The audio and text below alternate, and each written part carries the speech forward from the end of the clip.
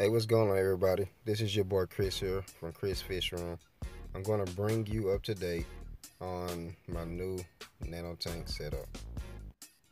Now, I have a 20 gallon aquarium.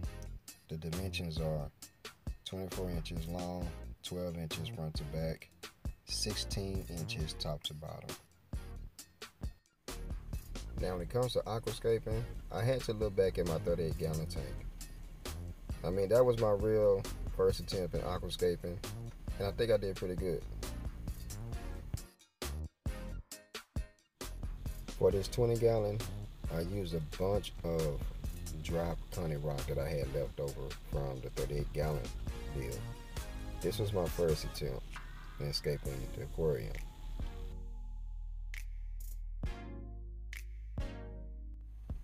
So after letting the tank dry, the rock still fell off the glass.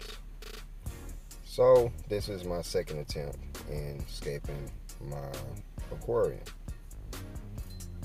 This time I went with a more open concept, meaning I wanted more room mm-hmm. for the fish to swim through.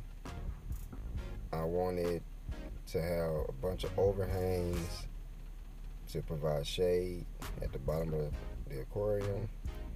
I also wanted to get the rock to touch the surface of the water.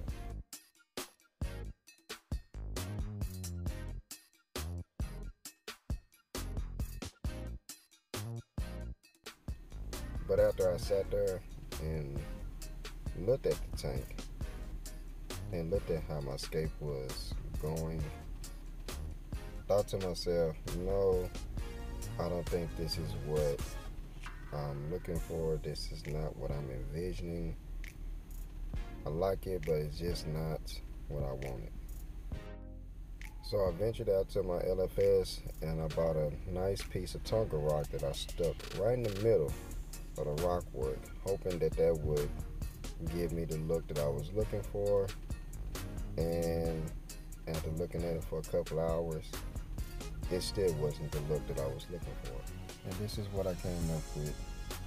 An open concept with a small island in the middle that gave the fish areas to swim through, uh, a bridge as you can see for a core placement, and fish to swim under the small island with the ledge over it, an open base area for my sand sifters, areas to where I can put euphyllias, as you can see with the small tonga branch hanging down. Also the large tonga branch that almost touches the surface of the water. The back area is open to help with flow and to keep the detritus from building up in the back. Also the small base of the island where the detritus likes to build up on large bases. Um, I mean, this scape I think says it all in, in itself.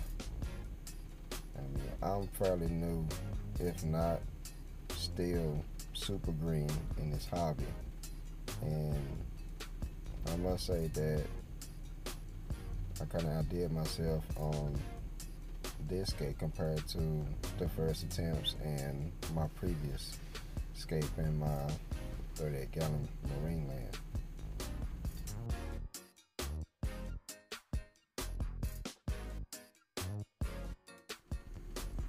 Now I did plant a bunch of pods in the aquarium only because this to me this was the best time because there was no fish or nothing in there that can eat them and give them a chance to repopulate for when I do add fish and coral. Now as far as my filtration, I'm using two hang on the back filters. One for biological, as you can see my Fluval 30 is holding my chaeto that I'm growing. I'm using a light diffuser, uh, just a piece of it just to keep it from getting to the display. I'm also using the all-in-one Coralife filter as a uh, carbon filter pad with a built-in protein skimmer and a phosphate guard. Now as far as water movement, I'm using my two nano pumps that I had in my 38 gallon Marineland. These are two Sicce nano pumps, both rated at 525 gallons per hour. As far as lighting, I'm using the full spectrum Chinese black box LED. Now, for those of you who don't know, the cycling process is something very important.